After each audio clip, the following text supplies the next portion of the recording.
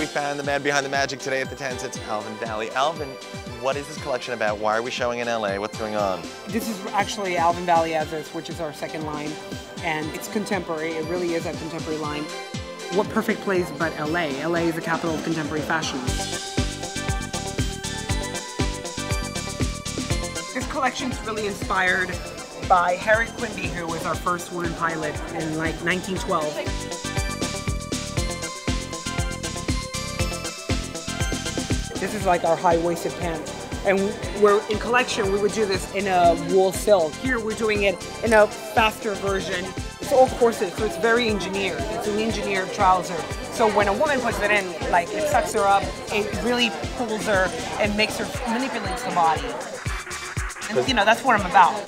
Tell me, is there a key piece this season that you love from the collection? Our finale dress. Can you show me? Where is it? No, I can't. You'll see it in the end. I will see it at the end.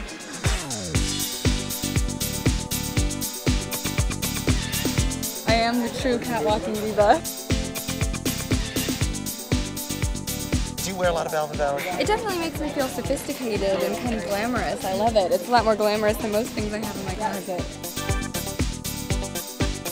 What's the mood at Alvin Valley this season? The mood season? at Alvin Valley is a little bit retro, a little bit modern. So the makeup is very, very modern, with the eyebrow being very groomed, but still a little thin, channeling Marlene Dietrich. But then we're doing a really bold red lip. Everything else, the face is minimal.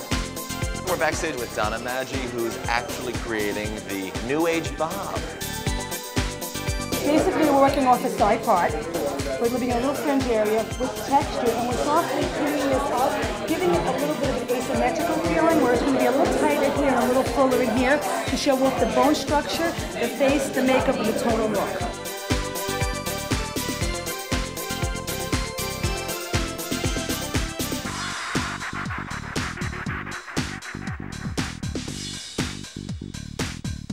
It's one of LA's most stylish ladies, Lisa Gastineau, and you're wearing Alvin. Alvin Valley. Yeah, head to toe. What is it that you count on him to provide for your wardrobe? Classic pieces.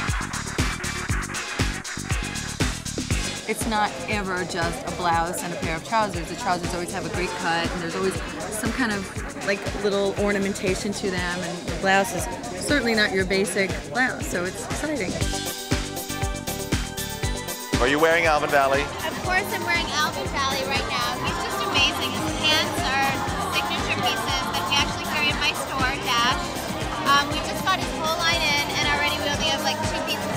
What is it about the trouser he cuts that women love? They make your booty look fabulous.